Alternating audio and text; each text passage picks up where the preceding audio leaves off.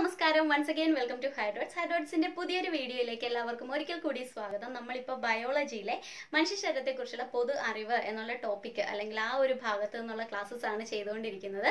അതിൽ നമ്മൾ ഇന്ന് അവയവ വ്യവസ്ഥ സ്റ്റാർട്ട് ചെയ്യുവാണ്. ഓക്കെ അപ്പം നമ്മൾ ഏറ്റവും ആദ്യം പഠിക്കുന്നത് അന്തസ്രാവി വ്യവസ്ഥ അല്ലെങ്കിൽ എൻഡോക്രൈൻ സിസ്റ്റത്തെക്കുറിച്ചാണ് അപ്പോൾ ക്ലാസ്സിലേക്ക് പോകുന്നതിന് മുമ്പ് മറ്റൊരു കാര്യം കൂടി പറയാനുണ്ട്. അതായത് കുറച്ച് നാളുകൾക്ക് ശേഷമാണ് നമ്മൾ ഇന്ന് തൊട്ട് വീഡിയോസ് അപ്ലോഡ് ചെയ്ത് തുടങ്ങുന്നത്. അതായത് ഓൾമോസ്റ്റ് ഒരു ഒരു മാസത്തോളം ഡിലേ വന്നിട്ടുണ്ട് വീഡിയോസ് ഇടാൻ വേണ്ടിയിട്ട്. ചില കാരണങ്ങൾ കൊണ്ട് വീഡിയോസ് അപ്ലോഡ് ചെയ്യാൻ സാധിച്ചിട്ടില്ല. ഇതിനിടയിൽ പലരും കമൻസിലൂടെയും അല്ലാണ്ട് പേഴ്സണലായിട്ടും ഒക്കെ ചോദിച്ചിട്ടുണ്ട് എന്തുകൊണ്ടാണ് ക്ലാസ്സസ് ഇല്ലാത്തതെന്ന്. അതുപോലെ തന്നെ ചില ടോപ്പിക്സ് ആവശ്യപ്പെട്ടിട്ടുമുണ്ട്. ക്ലാസ്സസ് ചെയ്യണം എന്ന് ചില ടോപ്പിക്സ് പറഞ്ഞിട്ട് ആവശ്യപ്പെട്ടിട്ടുമുണ്ട്. അപ്പോൾ ഇവരുടെ എല്ലാ മെസ്സേജ് ഞാൻ കണ്ടിട്ടുണ്ട്. എന്തെങ്കിലും കാരണം കൊണ്ട് നിങ്ങൾക്ക് പേഴ്സണലായിട്ട് വ്യക്തിപരമായിട്ട് എനിക്ക് മെസ്സേജിന് റിപ്ലൈ തരാൻ പറ്റാതെ പോയിട്ടുണ്ടെങ്കിൽ ദയവായിട്ട് നിങ്ങളൊന്ന് ക്ഷമിക്കുക. എന്തായാലും ആ പറഞ്ഞ ടോപ്പിക്സ് ഒക്കെ ഈ പറഞ്ഞ സമയത്തിനുള്ളിൽ ഇപ്പോൾ ഫെബ്രുവരി വരെ നമുക്ക് സമയമുണ്ട് പഠിക്കാൻ ഡിസംബറിൽ നിന്ന് പോസ്റ്റ്പോൺ ചെയ്തിട്ടുണ്ട് എക്സാം ഫെബ്രുവരി ആണ് പറഞ്ഞിരിക്കുന്നത്. അപ്പോൾ അത്രയും സമയത്തിനുള്ളിൽ എന്തൊക്കെ വന്നാലും നമ്മൾ ആ പറഞ്ഞ ടോപ്പിക്സ് ഒക്കെ കവർ ചെയ്യുന്നതായിരിക്കും. ചില ടോപ്പിക്സ് നമുക്കിപ്പോൾ എടുത്തു പോകാൻ പറ്റാത്തത് നമ്മളിപ്പോൾ സിലബസ് വൈസ് ആണ് പോകുന്നത്. അതായത് സിലബസിൽ പറഞ്ഞിട്ടുള്ള ടോപ്പിക്സ് അനുസരിച്ചാണ് ഒരു ഓർഡറിലാണ് നമ്മളിപ്പോൾ ക്ലാസ്സസ് കൊണ്ടുപോകുന്നത്. അതുകൊണ്ടാണ് അവിടുന്ന് ഇവിടുന്നൊക്കെയുള്ള ടോപ്പിക്സ് നമുക്ക് ഇപ്പോൾ ചെയ്യാൻ പറ്റാത്തത്. എന്തായാലും എക്സാമിനേഷന് മുൻപ് അതായത് ആ ഭാഗം ഉൾപ്പെടുന്ന പോർഷൻ വരുമ്പോൾ നമ്മൾ എന്തായാലും ആ ഭാഗം നീറ്റായിട്ട് തന്നെ എന്നെ കൊണ്ടാവുന്ന പോലെ തന്നെ നിങ്ങൾക്ക് ക്ലാസ് എടുത്തു തരാനായിട്ട് ഞാൻ ശ്രമിക്കുന്നതായിരിക്കും. പിന്നെന്ന് പറഞ്ഞാൽ ഇപ്പോൾ നിങ്ങൾ തരുന്ന ഈ സപ്പോർട്ട് തുടർന്നും ഉണ്ടാകണം എന്നുള്ളൊരു ആത്മാർത്ഥമായിട്ടുള്ള ഒരു ആവശ്യം കൂടെ ഞാൻ പറയുവാണ്. സോ നമുക്ക് വീഡിയോയിലേക്ക്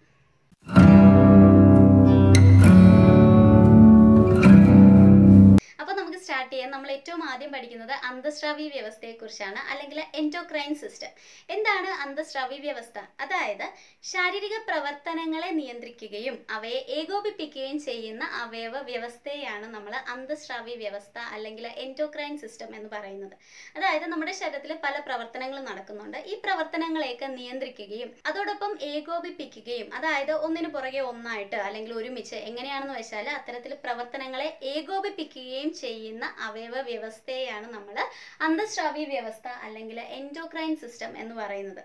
ഈ അന്തസ്രാവി വ്യവസ്ഥയിൽ ഉൾപ്പെടുന്നത് അന്തസ്രാവി ഗ്രന്ഥികളും അവ ഉൽപ്പാദിപ്പിക്കുന്ന സ്രവങ്ങളുമാണ്. ഈ അന്തസ്രാവി ഗ്രന്ഥികൾ ഉൽപ്പാദിപ്പിക്കുന്ന സ്രവങ്ങളെ പറയുന്ന പേരാണ് ഹോർമോണുകൾ എന്ന്. ഓക്കെ ഹോർമോണുകളൊക്കെ എല്ലാവർക്കും അറിയാവുന്നതാണ്.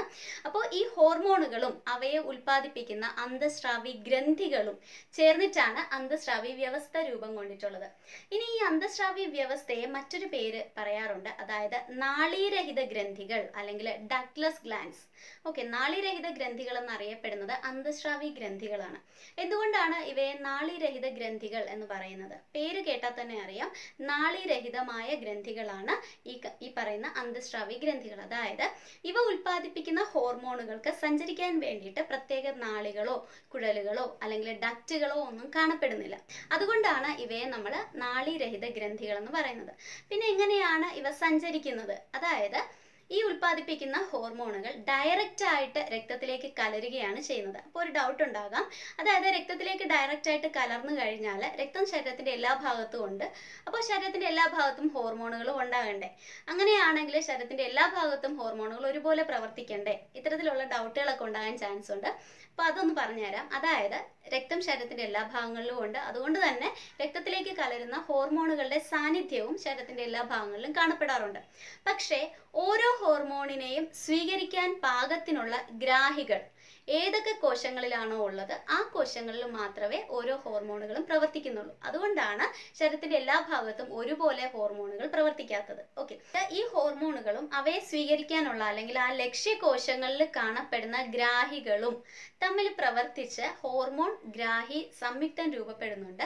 ഈ സംയുക്തത്തിന്റെ രൂപപ്പെടൽ അല്ലെങ്കിൽ ഈ ഒരു പ്രവർത്തനം കോശത്തിനുള്ളിൽ കാണപ്പെടുന്ന രാസാഗ്നിയെ ഉത്തേജിപ്പിക്കുന്നു. അങ്ങനെ ഈ ഉത്തേജനം മൂലം കോശത്തിനുള്ളിൽ എന്ത് മാറ്റമാണോ സംഭവിക്കേണ്ടത് ആ മാറ്റം അവിടെ സംഭവിക്കുകയും ചെയ്യുന്നു. അങ്ങനെയാണ് ഈ ഹോർമോണുകൾ ലക്ഷ്യകോശങ്ങളിൽ പ്രവർത്തിക്കുന്നത്. ഓക്കെ അപ്പോൾ ഇത്രയും കാര്യം ഒന്നുകൂടെ പറയാം. അതായത് നാളീരഹിത ഗ്രന്ഥികൾ എന്നറിയപ്പെടുന്നത് അന്തസ്രാവി ഗ്രന്ഥികളാണ്. അന്തസ്രാവി ഗ്രന്ഥികൾ ഉൽപ്പാദിപ്പിക്കുന്ന സ്രവങ്ങളെയാണ് നമ്മൾ ഹോർമോണുകൾ എന്ന് പറയുന്നത്. ഹോർമോണുകൾക്ക് സഞ്ചരിക്കാൻ വേണ്ടിയിട്ട് ഡക്റ്റുകളോ അല്ലെങ്കിൽ കുഴലുകളോ ഒന്നും കാണപ്പെടുന്നില്ല. ഇവ ഡയറക്റ്റ് ആയിട്ട് രക്തത്തിലേക്ക് കലരുകയാണ് ചെയ്യുന്നത്. പിന്നെ ഈ ഓരോ ഹോർമോണിനെയും സ്വീകരിക്കാൻ പാകത്തിനുള്ള ഗ്രാഹികൾ ഏത് കോശങ്ങളിലാണോ ഉള്ളത് ആ കോശങ്ങളിൽ മാത്രമേ ഓരോ ഹോർമോണുകളും പ്രവർത്തിക്കുന്നുള്ളൂ. അപ്പോൾ ഇത്രയും ഭാഗം ക്ലിയർ ആണല്ലോ. ഇനി നമ്മൾ ഏറ്റവും ആദ്യം പഠിക്കാൻ പോകുന്ന അന്തസ്രാവി ഗ്രന്ഥിയാണ് പാൻക്രിയാസ് അല്ലെങ്കിൽ ഇതിനെ നമ്മൾ ആഗ്നേയ ഗ്രന്ഥി എന്നാണ് പറയുന്നത്.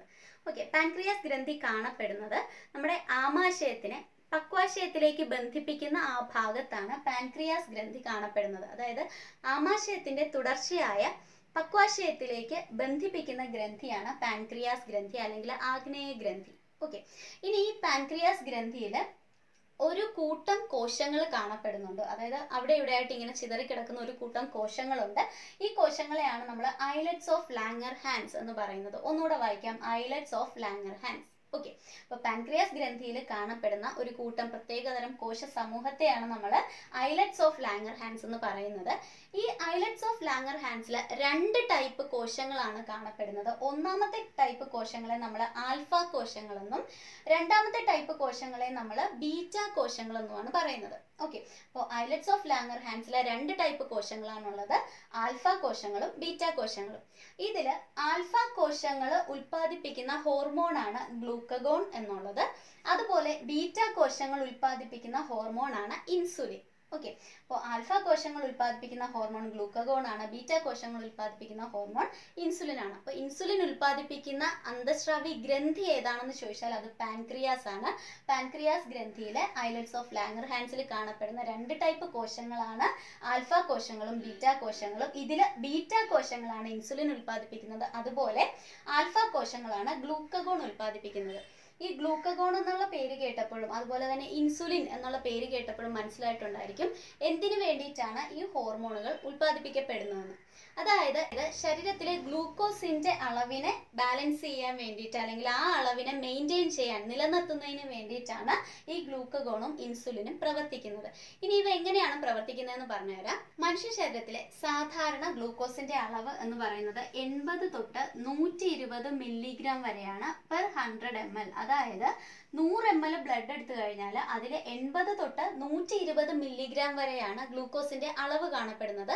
ഇത് പി എസ് സിയുടെ ആൻസർ ആണ്. S C R T text അതായത് പത്താം ക്ലാസ്സിലെ ടെക്സ്റ്റ് നോക്കിക്കഴിഞ്ഞാൽ അതിനകത്ത് എഴുപത് തൊട്ട് നൂറ്റി പത്ത് milligram per hundred M L എന്നാണ് കിടക്കുന്നത്. പക്ഷെ പി എസ് സിയുടെ ആൻസർ എന്ന് പറഞ്ഞാൽ പി എസ് സി ഇതുവരെ ആൻസർ കീയിൽ പറഞ്ഞിട്ടുള്ളത് എൺപത് തൊട്ട് നൂറ്റി ഇരുപത് മില്ലിഗ്രാം എന്നുള്ളതാണ്. ഓക്കെ എന്തായാലും സാധാരണ മനുഷ്യ ശരീരത്തിലെ ഗ്ലൂക്കോസിന്റെ അളവെന്ന് പറഞ്ഞാൽ എൺപത് തൊട്ട് നൂറ്റി ഇരുപത് മില്ലിഗ്രാം വരെയാണ് പെർ ഹൺഡ്രഡ് എം എൽ നൂറ് എം എൽ ബ്ലഡിൽ ഓക്കെ ഈ അളവിൽ നിന്ന് എന്തെങ്കിലും വേരിയേഷൻ അതായത് കൂടുകയോ കുറയുകയോ ചെയ്തു കഴിഞ്ഞാൽ അപ്പോഴാണ് അവിടെ ഗ്ലൂക്കഗോണും ഇൻസുലിനും പ്രവർത്തിക്കുന്നത്.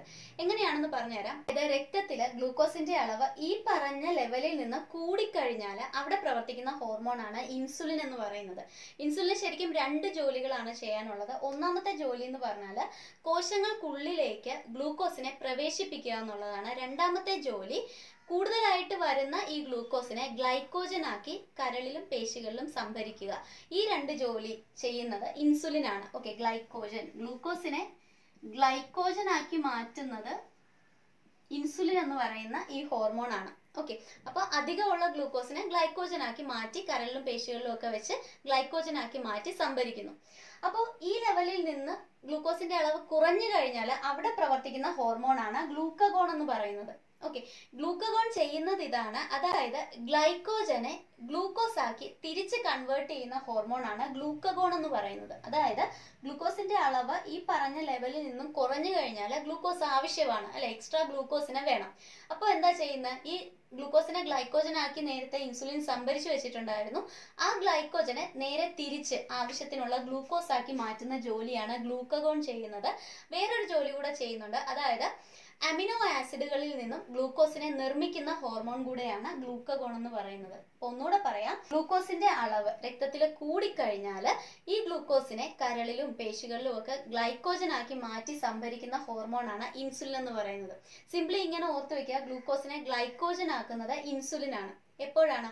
ഗ്ലൂക്കോസിന്റെ അളവ് കൂടിക്കഴിഞ്ഞാൽ ഓക്കെ ഇനി ഗ്ലൂക്കോസിന്റെ അളവ് കുറഞ്ഞു കഴിഞ്ഞാൽ നേരെ തിരിച്ച് അതായത് ഗ്ലൈക്കോജനെ ഗ്ലൂക്കോസ് ആക്കി മാറ്റുന്നത് ഗ്ലൂക്കഗോൺ ആണ്.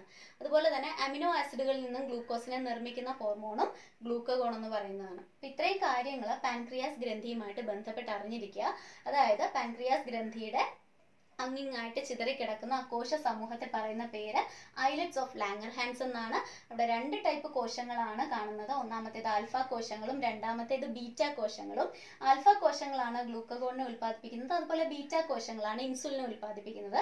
നോർമലി നമ്മുടെ മനുഷ്യ ശരീരത്തിലെ ഗ്ലൂക്കോസിന്റെ അളവെന്ന് പറഞ്ഞാൽ എൺപത് തൊട്ട് നൂറ്റി ഇരുപത് milligram per hundred M L ആണ്.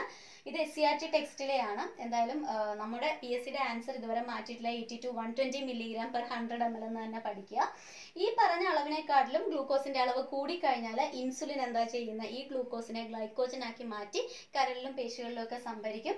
അപ്പോൾ ഈ അളവിനെക്കാട്ടിലും കുറഞ്ഞു കഴിഞ്ഞാൽ ഈ ഗ്ലൈക്കോജനെ നേരെ തിരിച്ച് റിവേഴ്സ് അതായത് റിവേഴ്സ് പ്രോസസ്സ് എന്ന് വെച്ചാൽ ഗ്ലൈക്കോജനെ ഗ്ലൂക്കോസ് ആക്കി മാറ്റിയിട്ട് ആവശ്യത്തിന് സപ്ലൈ ചെയ്യുക എന്നുള്ള ജോലിയാണ് ഗ്ലൂക്കഗോൺ എന്നുള്ളത് അതുപോലെ തന്നെ അമിനോ ആസിഡുകളിൽ നിന്നും ഗ്ലൂക്കോസിനെ നിർമ്മിക്കുന്ന ഹോർമോൺ കൂടെയാണ് ഗ്ലൂക്കഗോൺ എന്ന് പറയുന്നത്. ഒന്ന് രണ്ട് കാര്യങ്ങൾ കൂടെ അറിഞ്ഞിരിക്കണം. അതായത് പലരും കേട്ടിട്ടുണ്ടായിരിക്കും പ്രമേഹം എന്ന് പറയുന്ന ഒരു അവസ്ഥ അല്ലെ? പ്രമേഹം എന്ന് പറഞ്ഞാൽ എന്താണ്? രക്തത്തിൽ ഗ്ലൂക്കോസിന്റെ അളവ് കൂടിയിരിക്കുന്ന സിറ്റുവേഷനെയാണ് നമ്മൾ പ്രമേഹം എന്ന് പറയുന്നത്. എന്തുകൊണ്ടാണ് ഇങ്ങനെ രക്തത്തിൽ ഗ്ലൂക്കോസിന്റെ അളവ് കൂടുന്നത്? നമുക്കറിയാം ഒന്നെങ്കിൽ ഈ ബീറ്റ കോശങ്ങൾ നശിക്കുന്നത് വഴി ഇൻസുലിന്റെ ഉൽപാദനത്തിൽ കുറവുണ്ടാകാം. ഇൻസുലിന്റെ ഉൽപാദനം കുറഞ്ഞു കഴിഞ്ഞാൽ രക്തത്തിൽ അധികമായിട്ടുള്ള ഗ്ലൂക്കോസിനെ ഗ്ലൈക്കോജനായിട്ട് മാറ്റാനായിട്ട് സാധിക്കാതെ വരുന്നു. അങ്ങനെയുള്ള സിറ്റുവേഷൻസിൽ ഈ പറയുന്ന ഗ്ലൂക്കോസിന്റെ അളവ് കൂടാം. അല്ലെങ്കിൽ ഈ ഇൻസുലിനെ വേണ്ട രീതിയിൽ കോശങ്ങൾക്ക് ഉപയോഗപ്പെടുത്താൻ ആവാത്ത ഒരു സിറ്റുവേഷൻ അങ്ങനെ ഉണ്ടായി കഴിഞ്ഞാലും ഈ ഗ്ലൂക്കോസിന്റെ അളവ് രക്തത്തിൽ കൂടാൻ സാധ്യതയുണ്ട്. അപ്പൊ ഈ രക്തത്തിൽ ഗ്ലൂക്കോസിന്റെ അളവ് കൂടിയിരിക്കുന്ന ഒരു അവസ്ഥയാണ് നമ്മൾ പ്രമേഹം എന്ന് പറയുന്നത്. ഇത് ടെസ്റ്റ് ചെയ്യുന്നത് ബ്രേക്ക്ഫാസ്റ്റിന് മുൻപ് അതായത് നമ്മൾ പ്രഭാത ഭക്ഷണം കഴിക്കുന്നതിന് മുൻപ് ബ്ലഡ് ടെസ്റ്റ് ചെയ്ത് കഴിഞ്ഞാൽ നൂറ്റി ഇരുപത്തി ആറ് milligram per hundred M L അതായത് നൂറ് എം എൽ ബ്ലഡ് എടുത്തു കഴിഞ്ഞാൽ അതിൽ ഈ അളവിനെക്കാട്ടിലും നൂറ്റി ഇരുപത്തിയാറ് മില്ലിഗ്രാമിനെക്കാട്ടിലും കൂടുതലാണ് ഗ്ലൂക്കോസിന്റെ അളവെങ്കിൽ. അതായത് രാവിലെ ബ്രേക്ക്ഫാസ്റ്റിന് മുൻപായിട്ടുള്ള രക്തപരിശോധനയിൽ കിട്ടുന്ന ഗ്ലൂക്കോസിന്റെ അളവെന്ന് പറഞ്ഞാൽ ഇതിനെക്കാട്ടിൽ കൂടുതലാണെങ്കിൽ ആ വ്യക്തിക്ക് പ്രമേഹം ഉണ്ടെന്ന് പറയാം. ഓക്കെ. എന്തൊക്കെ കാരണങ്ങൾ കൊണ്ടാണ് പ്രമേഹം ഉണ്ടാകാൻ സാധ്യതയുള്ളതെന്ന് നമ്മളിപ്പോൾ പറഞ്ഞു. ഇനി ഈ അധികം വരുന്ന ഗ്ലൂക്കോസിനെ യൂറിനിലൂടെയാണ് ശരീരം പുറന്തള്ളുന്നത്. സാധാരണ യൂറിനിൽ ഗ്ലൂക്കോസിന്റെ സാന്നിധ്യം കാണാറില്ല. പക്ഷെ പ്രമേഹ രോഗികളിൽ യൂറിനിൽ ഗ്ലൂക്കോസിന്റെ സാന്നിധ്യം കാണാറുണ്ട്. ഓക്കെ. മറ്റൊരു കാര്യം ഓർക്കേണ്ടത് ഇതൊരു പ്രീവിയസ് ക്വസ്റ്റ്യൻ ആണ്. മുൻവർഷങ്ങളിൽ ചോദിച്ച ചോദ്യമാണ് അതായത് ബെനഡിക് ടെസ്റ്റ്. എന്താണ് ബെനഡിക് ടെസ്റ്റ്? എന്ന് പറഞ്ഞാൽ നമ്മൾ നേരത്തെ പറഞ്ഞു യൂറിനിലൂടെയാണ് ശരീരം എക്സ്ട്രാ വരുന്ന ഗ്ലൂക്കോസിനെ പുറന്തള്ളുന്നതെന്ന്. ഇങ്ങനെ യൂറിനിൽ ഗ്ലൂക്കോസിന്റെ സാന്നിധ്യം തിരിച്ചറിയുന്ന ടെസ്റ്റാണ് ബെനഡിക് ടെസ്റ്റ് എന്ന് പറയുന്നത്. ഓക്കെ ഗ്ലൂക്കോസിന്റെ സാന്നിധ്യം തിരിച്ചറിയുന്ന ടെസ്റ്റാണ് ബെനഡിക് ടെസ്റ്റ് എന്ന് പറയുന്നത്. ഇത് ബെനഡിക് സൊല്യൂഷൻ അല്ലെങ്കിൽ ബെനഡിക് ലായനി ഉപയോഗിച്ചിട്ടാണ് ഈ ബെനഡിക് ടെസ്റ്റ് ചെയ്യുന്നത്. ക്ലിയർ ആവുന്നുണ്ടല്ലോ? അപ്പൊ ഇത്രയും ഭാഗം കൂടെ ഇത്രയും കാര്യങ്ങൾ വ്യക്തമായിട്ട് ഓർത്തിരിക്കുക. ഇനി ഇതിന്റെ കണ്ടിന്യൂവേഷൻ അടുത്ത വീഡിയോയിലായിട്ട് ചെയ്യുന്നതായിരിക്കും. Thank so much for watching